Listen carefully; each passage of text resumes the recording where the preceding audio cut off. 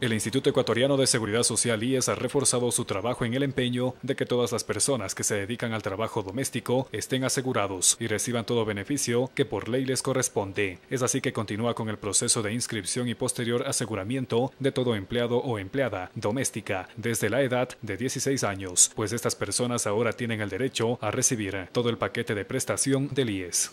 Bueno, la anterior ley impedía que los menores de edad puedan ser afiliados al, al, IES y para ello eh, debía existir autorización expresa de los padres. Hoy, hoy ya no.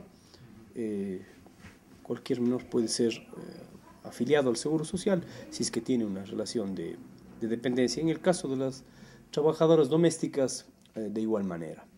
El proceso de aseguramiento de las empleadas domésticas se desarrolla con total normalidad en la dirección provincial. El Instituto Ecuatoriano está en la potestad de tomar acciones de insolvencia y de solicitar una acción judicial en contra del patrón que no asegure o se rehúse a asegurar a su empleado. E incluso puede llegar a solicitar una sanción penal en el caso de que el patrono haya descontado al, a su empleado eh, o a su empleada haya descontado los valores correspondientes al Seguro Social y no haya pagado al IES. El IES puede iniciar una, una acción de carácter penal a ese patrón. Pero para tomar esta resolución es muy importante la denuncia por parte del afectado. Los trabajadores que piensan que están siendo perjudicados por parte de los patrones tienen eh, las instancias administrativas pertinentes para denunciar y puede ser su, su denuncia incluso de carácter discreto o secreto. En el paquete de servicios que presta el IES, por ejemplo, están los préstamos hipotecarios, atención médica gratuita, atención en parto, entre otros subsidios.